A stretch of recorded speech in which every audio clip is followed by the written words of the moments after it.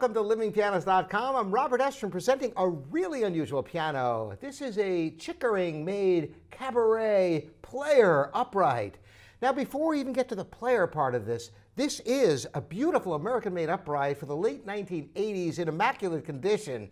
So I want you to hear the piano because they really don't make them like this anymore. There's just a few uprights made in this country and they're very, very costly. So to find one like this that's a late model with very light use is a real joy. Listen as I play a little bit of the F major sonata of Franz Joseph Haydn.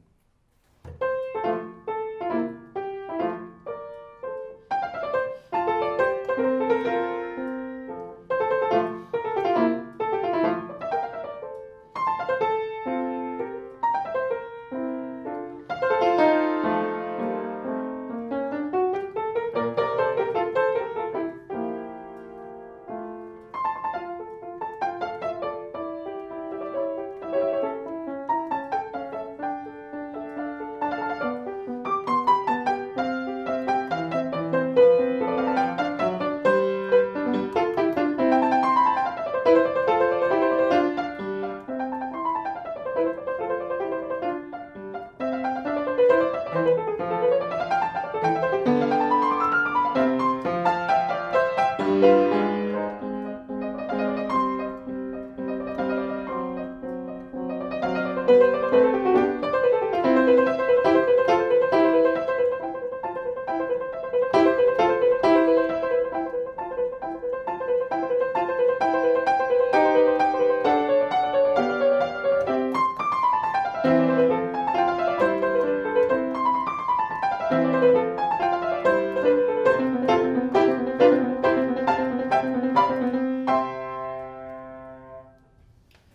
a very good action for an upright. Everything is fresh and in good condition and a very warm tone in contrast to the Asian pianos which proliferate today in spite of the fact that you see so many pianos with American names, there's almost none made in this country. That's why it's such a joy to find a piano like this. Listen as I play Chopin, a little bit of the middle section of the Ballade in A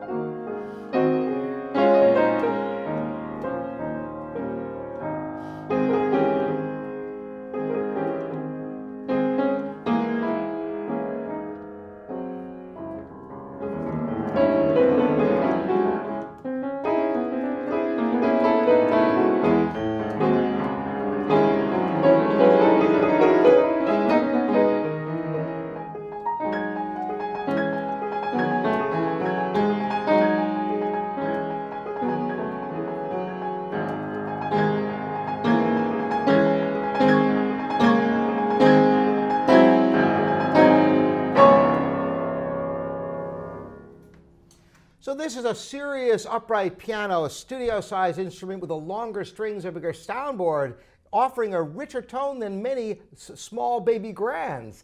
Now, I mentioned this is a player piano. That's right. If you go back to the early part of the 20th century, player pianos were as ubiquitous in American households as big screen TVs are today.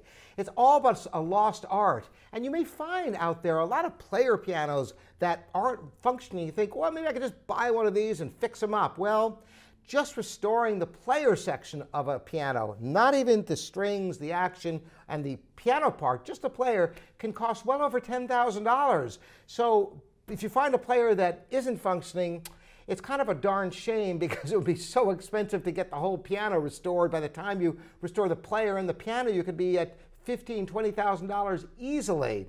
Now, wait till you hear this. Here's a little bonus for you. I'm going to say goodbye now and uh, sign off with a little bit of this beautiful vintage instrument playing for you.